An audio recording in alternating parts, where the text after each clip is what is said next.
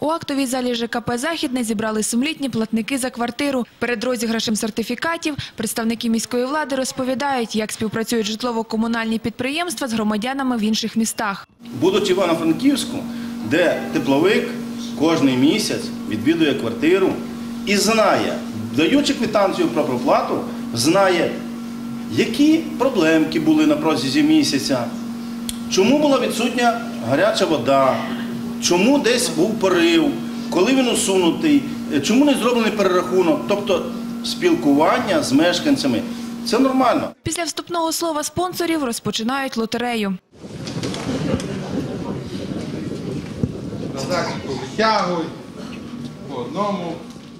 Одним з 15 щасливих власників сертифікату на 120 гривень став Олексій Теречук. Протягом року чоловік регулярно сплачував квартплату до 20-го числа.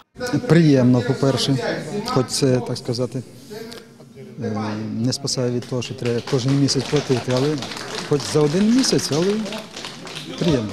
З чотирьох сотень учасників сертифікати на квартплату отримали 45 сумлінних платників. Не сумують і ті, хто не виграв. Їм дістались солодкі подарунки. Це лотерея, кому пощастило, коли кому ні. Ну, Абсолютно не розстроєна. Хай Бог благословить тих, хто виграв. Такі розіграші ЖКП «Західне» проводить вже четвертий рік поспіль.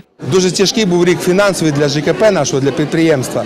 Але дякуючи таким людям, які оце платили, бо в прошлому році було 300 чоловік, в цьому році 440. Ми е, вирішили е, так, таким чином, що дати квартирну плату, тому що в зв'язку з тим, що дійсно може я якусь куплю річ, яка людині в господарстві не потрібна. А квартирна плата, ну це є квартирна плата, це є живі гроші, які людина проплатила, і вона на місяць вже може не платити сміло.